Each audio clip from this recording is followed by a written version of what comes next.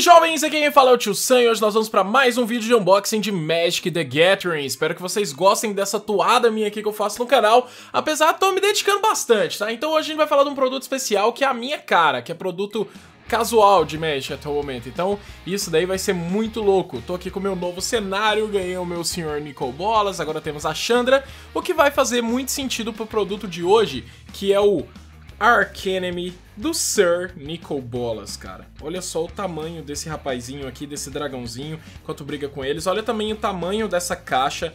Provavelmente vocês não conseguem ter muita a, a sensação de Bom, o, o, tamanho dela em si, mas cara, é, ele é um jogo muito casual para pro pessoal do Magic, é como se fosse um jogo de tabuleiro, tá? Só que com as regras de Magic. Eles tentaram fazer isso com os personagens, miniaturas, só que eu acho que a própria comunidade do Magic não se sentiu tão à vontade. E agora a gente tem alguns jogos de tabuleiro que sempre trabalhavam com cartas. Então o Magic, poxa, o Magic, por que inventar uma regra nova? Então é a regra básica do Magic, com algumas temáticas ali de jogo em grupo, né? Que, pelo que eu entendi desse produto, é o Nicol Bolas, ele joga contra até três outros Planeswalkers, você joga com quatro pessoas. Bom, vou trazer aqui para outra câmera para vocês verem o tamanho desse produto aqui, ó, comparado à minha pessoa. Tá aqui, bonitão, tá? A caixa grandona, isso daqui é uma coisa que me motiva muito, cara. Esse aqui é o tipo de coisa que a Wizards faz que me atrai facilmente. Se você também é do público casual, provavelmente esse daqui vai te entreter bastante. Qual que é a graça desse produto? É, tem cartas aqui já pré-definidas e esses decks não são feitos para você modificá-los, tá? Tipo, ah, quero deixar o meu deck mais forte. Não, não é a pegada disso daqui, tá? Os decks já são pré-definidos tem cartas que podem ser jogadas, você pode tirar as cartas desse deck para você jogar nos seus decks aí, jogar em torneio e tudo mais, mas eu meio que recomendo que você deixe esse produto intacto aqui. Eu, por exemplo, vou cuidar da minha caixinha muito bem. Eu vou colocar o link para vocês que se interessarem por esse produto, comprar aí na loja da Bazar de Bagdá, vai estar tá aí embaixo. Aqui a gente tem algumas informações sobre o jogo que eu não sei se a câmera vai querer focar. Mas é isso daqui, ó. Você joga de 4, de 2 a 4 jogadores. O tempo de cada partida geralmente é um pouco mais do que 30 minutos e é recomendado para 13 anos ou mais. Então é a mesma pegada aí de jogos de tabuleiro mesmo. Vamos ver aqui. O que vem dentro desse produto são quatro decks de 60 cartas com os Planeswalkers lá, tipo com novas artes deles. É, 20 cartas de todo. Tipo. 20 cartas de alguma coisa com cartas de esquema, aparentemente, né? Deve ser alguma coisa relacionada à raid em si que vai acontecer aqui do tabuleiro. Vem quatro deck boxes, uh, 10 é, double sides, né? Tipo tokens de dois lados. É um marcador de vida que me falaram que é muito louco o marcador de vida que tem aqui. Geralmente, tipo, aqui vem quatro. Não é aqui, né, que vem, é no, é no outro negócio. Mas, cara, me falaram que é bem bonito o marcador de vida e o livro de regras para você jogar esse produto. Tá aqui a caixinha, aparentemente ela vem toda pré-definida. O Nicol Bolas, galera, é tipo um dragão ancião, é um dos rolês mais antigos da história de Magic. É o vilão mais conhecido, eu bati a própria caixa do Nicol Bolas no Nicol Bolas, isso deixou ele torto aqui no nosso unboxing. Vamos lá, remover a tampinha e vamos ter a primeira impressão aí juntos do que vem nesse produto. Um, aqui temos papelão, não quero. Aqui temos uma cartinha, alguma coisa. Aqui dentro tem algumas coisas. vamos lá, temos esse marcador, que aparentemente é uma coisa bem moderna. Bom, aqui a gente pode ir mexendo, né? Tipo, sei lá, quanto for precisar bater. Provavelmente isso aqui deve ser a vida do Nicol Bolas, para ficar mais exposta, mais visível para todo mundo. Aqui tem como marcar de 0 a 99. E muito bonito, hein? Aqui tem um símbolo da centelha. Ah, bem bonito esse rolê aqui, hein? Putz. Eu achei massa esse rolê aqui. Bem bonito. Bom, se tem alguma outra forma de utilizar isso aqui, eu ainda não descobri, mas com certeza isso aqui fica em cima da mesa, tá? Em pé. Pra todo mundo veja, e é naquela parte laranja ali, é onde vai funcionar, né, os rolês. Uh, vamos lá, tô tirando aqui esse negocinho das cartas maiores, essas cartas full arts aqui, tipo, as cartas maiores, deve ser as cartas da raid em si. Eu não eu não consegui achar sleeve pra elas, tô bem chateado quanto a isso. Aqui a gente tem provavelmente os, os três decks dos Planeswalkers que vou enfrentar, ok, tá tudo lacrado. E bom, aparentemente é isso, a caixa já vem com pré-divisórias aqui, mas eu acho que não tem mais nada embaixo dela, realmente não tem. Falta a gente descobrir agora o que vem dentro desse envelope. Envelope branco provavelmente vai vir as deck box montáveis, então coisas do tipo. Vamos lá. Tirei aqui, tá tudo aqui dentro do envelope, não sobrou mais nada. Ok. Estamos seguros então, vamos lá. Caixinha do Nicobolas. O que a gente faz com a caixinha do Nicobolas? A gente monta a caixa do Nicobolas. Fim. Isso daqui eu recomendo que vocês coloquem no sleeve, cara, mais rápido possível, né? Aqueles insta sleeve. Tá bom. Caixinha do senhor Nicobolas. Vai focar? Focado. Tem aqui, ó, Nicobolas, tudo mais. Primeira deck box. Aí a gente tem a deck box também do Gideon para montar. Eu não vou montar porque vai ser idêntica do Nicobolas ali. Temos a deck box da Nissa Revain. Ok. E temos a deck box da senhorita Chandra Nalaar. Então tá aí, ó. Chandra Nalaar, tem a da Nissa, tem o do Gideon e tem o deck do Sr. Nicobolas. Temos aqui os quatro representados nos nossos bonequinhos de cenário. Bom, vamos começar a abrir essas coisas aqui pra gente ver aos poucos o que, que cada coisa faz. Vamos começar pelo pacotinho das tokens, que parece ser o mais rápido e o mais sem sentido, que a gente não vai precisar deles por muito tempo. Bom, provavelmente a gameplay em si vai pedir para você, vai ter várias coisas que vão pedir para você colocar tokens em campo. Então são as tokens que eles colocam aqui já para te ajudar durante o jogo. Temos vários tokens de zumbi, aparentemente. Algumas tokens de soldado, esse daqui deve ser do nosso amigo Gideon. E elas têm dois lados, então do outro lado seriam tokens de espírito, bestas, besta, besta, besta, um horror. E é isso. Então essas são as tokens que vêm, vou deixar aqui, próximo do rosto do Jace. Esse é o primeiro deck de Planeswalker que vem. É o Gideon aqui com uma arte exclusiva, porém esse Gideon já existe há algumas coleções atrás. E ele não é o Gideon, o Gideon desses não é nenhum desses dois que estão jogando T2 não. Ele é um Gideon um pouco mais antigo aí, eu realmente não eu tenho eu consigo falar essa, isso para vocês que não é um dos Gideons que tá no T2, mas eu não lembro qual Gideon que é necessariamente, tá? Mas é esse aí, ó. É o que destrói criatura tapada. Uh, durante o próximo turno do oponente, as criaturas, tipo, tem que atacar o Gideon se puderem atacar. É esse daí, com 5 manas. O deck do Gideon vem aqui com estas exatas cartas. Em nenhum momento eu achei deck lixo, tá? Disso daqui. Provavelmente tem sites que já postaram. Mas atrás do produto e no site da Wizards eu não tinha achado. Então, às vezes aqui, ó, você para pra pensar se tem alguma coisa que é muito legal. Olha, Sun Titan. Isso daqui eu lembro, eu já vi vários playmatches disso em uma época.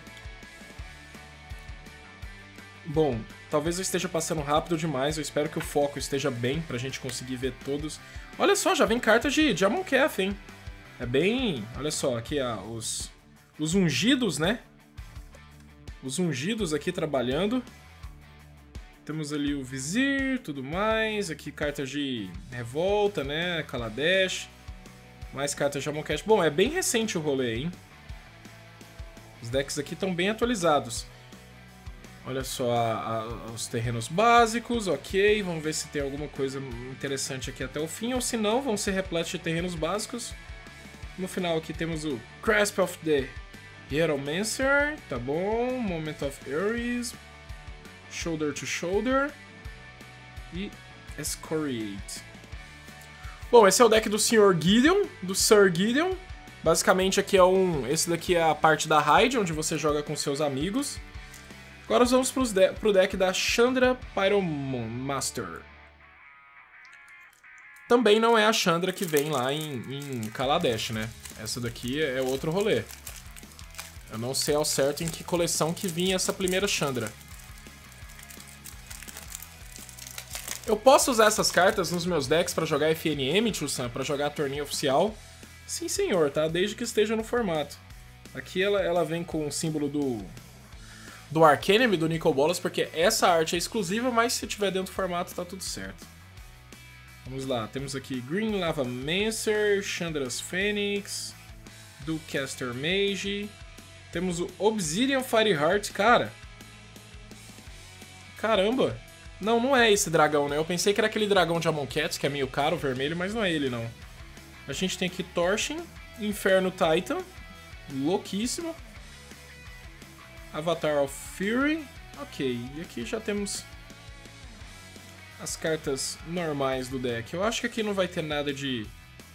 Eu não lembro, eu sei que tem um produto, não. Aqui já começaram as montanhas básicas e tudo mais. Um, temos aqui o Coordinated Assault. Hammer Hands, tal, tal, ok. Scaring Spear. Mais cartas de Amonkhet, Chandra's Outrage. Ok.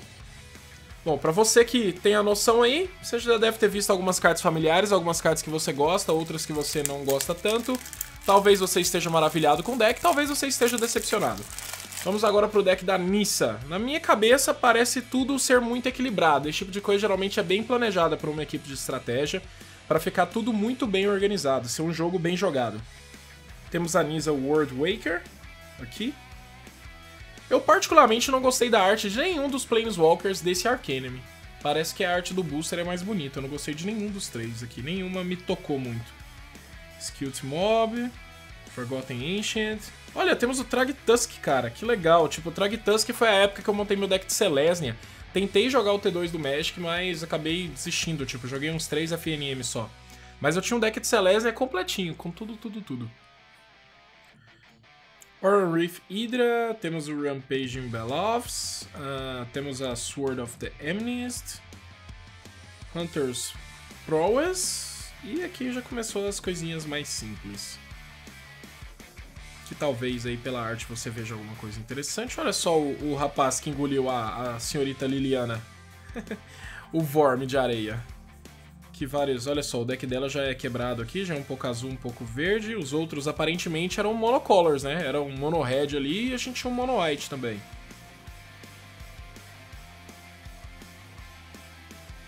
Olha, essas cartas do final, do final, como tem esse símbolo do Arcanemy, e as outras têm o símbolo da coleção mesmo que elas vêm, tenho a sensação que são exclusivas desse produto, pelo menos a arte delas, tá? Vamos aqui seguindo. Agora vamos pro deck do nosso querido amigo Broken, que não sabe brincar, né? Sr. Nicol Bolas, dos Planeswalkers mais antigos. Muito foda. Olha só, até no Funko, cara, ele é maior do que os outros. E aqui ele tá representado de uma forma singela, né? Porque com certeza ele é muito maior do que os outros aqui comparado. Tio Nicol Bolas, eu acho que provavelmente queria ser o Nicol Bolas sempre quando eu for jogar esse jogo. Eu quero arrumar três amigos para eu ser o Nicol Bolas e derrotá-los, de preferência. Tomara que eu ganhe todos. Temos aqui o Sr. Nicol Bolas, Planeswalker. Tá bom. Ele paga 3, destrói a criatura... A não criatura permanente. Qualquer coisa que não seja criatura permanente. Você ganha o controle da criatura alvo por menos 2. Depois por menos 9, o tipo pseudo ult dele Uh, Nicobolas dá 7 de dano naquele jogador, aquele jogador descarta 7 cartas e sacrifica 7 permanentes. É tipo. É tipo um aperto de mãos, né, cara? Esse U. Tipo assim, falar, beleza, cara, GG, parabéns. É isso aí. Tipo, meio que. Putz, tem que descartar 7 cartas. O cara vai ficar sem mão, né? Obviamente. Archfiend of Depravity. Uh, temos o Icefall Regent. Prognostic Sphinx. Cara, essa Sphinx eu nunca tinha visto. Harvester of Souls, Sphinx of Jor Isle, Deathbringer Regent, temos o Overseer of the Damned, Blue Tyrant, Dreadbore, Cruel Ultimatum. Cara, olha a arte dessa carta, que carta linda. Meu, isso aqui é um terror, né, velho? Nicol Bolas é tipo caos, né? Olha só, Dragon School Summit, olha, ele já tem uns terrenos raros, hein? Drowned Catacomb. Cara, ele já tem uns terrenos raros. O deck do Nicol Bola já é outro rolê, hein? Já é mais...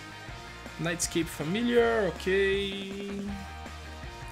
Bom, vê que ele trabalha muito com os bichinhos dele, né? Os pokémonzinhos dele aí do, do deserto. Ok, ali já é mais simples. Tá bom, tá bom, tá bom, tá bom. Ele usa tudo. Uou, temos... Sério que vem raio no, no deck do Nicol Bolas? Que louco. Vem Vem dois raios. Olha só. Vem aqui os talismãs. O Doomblade, vem Obelisk. Reckless, Soul Ransom. Tá bom, Save of Bolas. Slave of Bolas. Olha só, escravo do Sr. Bolas. É, e é uma bonitinha ainda, né? Ele sabe o que faz. Bom, agora a gente vai tentar, eu não sei as regras desse jogo, tá bom? Eu tô aqui pra mostrar pra vocês exclusivamente o que vem dentro desse produto e como são as coisas, pra vocês verem na mão mesmo, tipo, o negócio abrindo pra você ter uma noção. Mas é, eu pretendo trazer pra vocês, se vocês tiverem interesse, uma gameplay disso. O livro de regras vai estar tá aqui, inclusive. Olha só, tirou aqui essa cartolina. Aqui temos o livro de regras do, do Arcanime, que não deve ser muito difícil, pelo que a gente tá... Pelo, porque ele é um pôster, né? Ele é daqueles... Aqui o fundo das cartas do Arcanime, Magic Arcanime e tudo mais. E no total vem todas elas aqui, cada uma deve funcionar de alguma coisa. Talvez seja uma fase, elas entrem em turno, tipo, cada turno vai ter um efeito diferente, você vai ter que jogar de uma forma diferente. Então, são essas aqui que vêm. Segunda regra do Arcanime. Bom, eu quero muito trazer uma gameplay disso. Às vezes eu vou pra São Paulo, eu consigo achar alguns amigos lá pra gente fazer essa gameplay e gravar, mostrar esse jogo em área, porque Cara, é um pseudo-mesão, né? É um mesão pré-construído, entendeu? Tipo, é um mesão pronto. Ninguém precisa ter deck, ninguém precisa ter nada. Basta você, o dono da sua box aí do Nicol Bola, juntar com seus amigos para jogar. Bom, temos aqui o livro de regras, que aparentemente não é algo muito difícil, que mostra para nós aqui o setup do jogo, que tem que fazer, quem vai vencer o jogo, jogando como Nicol Bolas, quais são as suas obrigações, deveres e tudo mais. Olha só, algumas dicas para você que joga e para você que tá jogando como as sentinelas tá aí, tipo, vocês vão dividir o turno, né? Tipo, todo mundo vai jogar ao mesmo tempo. Basicamente é o Nicobola joga e as sentinelas jogam. Então, tipo, não precisa.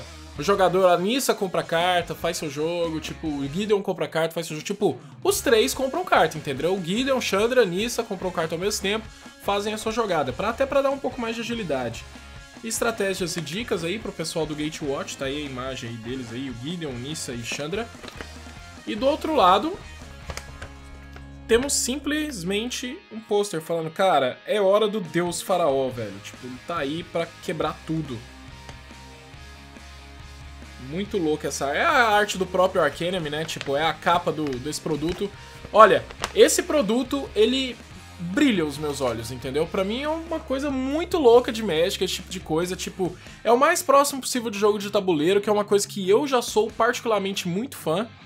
Gosto de tudo que vem aqui, é um material de qualidade, tá? Tipo, as cartas em si, é... Elas, tipo, tem a mesma qualidade das cartas padrões de Magic, mas a box em si, cara, sabe? Ela é de um papelão mais duro, ela tem as divisórias certinhas ali para você guardar os seus decks. Eu achei tudo muito organizado, esse marcador de dano aqui é algo também meio que exclusivo do produto, então é muito bonito. Na minha opinião, é algo que vale a pena. E uma coisa que eu fiquei sabendo é, vieram pouquíssimas unidades desse Arcanime para o Brasil, tá bom? O que que acontece? Tendo poucas unidades desse Arcanime no Brasil, tipo, algumas lojas vão ter, provavelmente você vai olhar, talvez você não goste do preço atual e fale, ah, vou deixar para comprar isso depois. Mas a recomendação que eu tive dos lojistas, e pareceu um papo muito sincero, e não foi papo para vender as coisas rápidas, é nós temos hoje, mas nós não vamos repor. Aparentemente não tem reposição disso. É um produto que está esgotado, tá bom? Nas lojas de card game principais dos Estados Unidos, você não consegue encontrar mais. Aqui no Brasil, nas lojas que tem, eu acho que recomendo que você pegue o mais rápido possível. Se ainda tiver no link da Bazar de Bagdá aqui do vídeo, recomendo que você compre por lá. E basicamente aproveite, porque é uma coisa que você pode gravar pra vida toda. Deve ser um bom, sabe, lance de iniciar pessoas no Magic, do cara gerar o interesse, depois falar, bom, você gostou de jogar com esse deck? Pois é, você poderia jogar talvez um dia com o deck que você mesmo montou. Tipo, você gosta de uma estratégia particular, vai lá, monta o seu deck, você tem vários torneios, vários formatos. E, cara, conhecer um GP, alguém que vai ir pra um GP um dia, todo esse negócio. Eu acho que todo lance de iniciar uma pessoa, eu acho que esse Arcanime faz muito bem. E aparentemente é um produto muito limitado. Então corra, tô muito feliz de ter o meu e eu espero que você que queira muito não fique na vontade também, consiga achar o seu também, beleza? Galera, muito obrigado, espero que vocês tenham gostado desse unboxing. É, não esqueça de deixar os comentários se vocês quiserem ver a gameplay disso, tá? Eu vou achar algumas pessoas, a gente traz a gameplay, aprende as regras e mostra como funciona, mas eu tenho certeza que é algo sensacional e que eu vou gostar muito. A questão agora é saber se vocês também querem assistir isso, tá bom? Muito obrigado a todos vocês, espero que vocês tenham gostado desse produto, porque ele, na minha opinião, é sensacional. É um must-have para qualquer fã de Magic the Gathering, beleza? Muito obrigado, que todos vocês estejam passando por um ótimo dia, fiquem com Deus e vamos encerrar na nossa forma comum aqui do canal, tá bom? Brawl Fist dos Brothers pra encerrar. Tamo junto, galera, valeu demais! Uh!